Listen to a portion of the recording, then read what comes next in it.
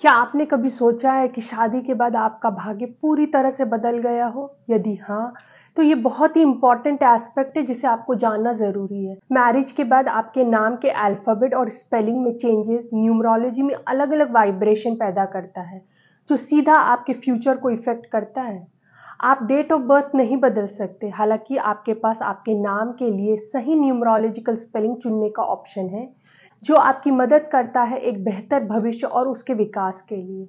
Example के लिए ऐश्वर्या राय बच्चन की बात करेंगे। उनका डेट ऑफ़ बर्थ फ़र्स्ट नवंबर 1973 है।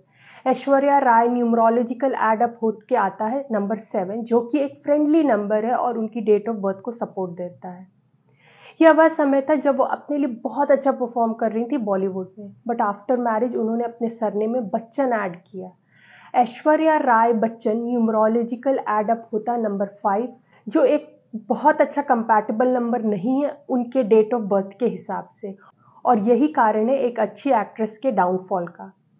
इस साइंस में आपके उज्जवल भविष्य को बनाने की अपार शक्ति है। अगर आपको यह विषय पसंद आया हो तो do like and subscribe my channel thank you so much bye bye take care